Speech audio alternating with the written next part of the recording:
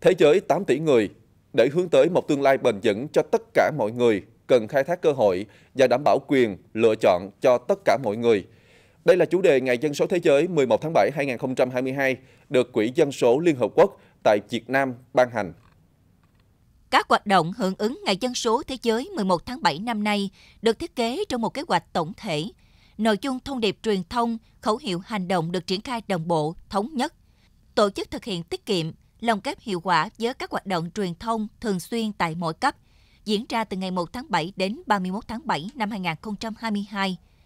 Nội dung chủ yếu là tổ chức sự kiện truyền thông trọng điểm trên kênh truyền thông đại chúng các cấp và truyền thông trực tiếp tại cơ sở, tập trung các vấn đề đang đặt ra đối với công tác dân số và phát triển, như duy trì vững chắc mức sinh thay thế, giảm mất cân bằng giới tính khi sinh, tăng tỷ lệ sử dụng dịch vụ tầm soát, chẩn đoán và điều trị một số bệnh tật trước sinh và sơ sinh, tăng số người mới sử dụng biện pháp tránh thai hiện đại, đặc biệt là vấn đề chăm sóc sức khỏe sinh sản vị thành niên, thanh niên, tư vấn và khám sức khỏe trước hôn nhân, nâng cao chất lượng dân số cho người dân tại các vùng sâu, vùng xa. Ưu tiên nhóm người cao tuổi, phụ nữ mang thai và nam nữ thanh niên chuẩn bị kết hôn.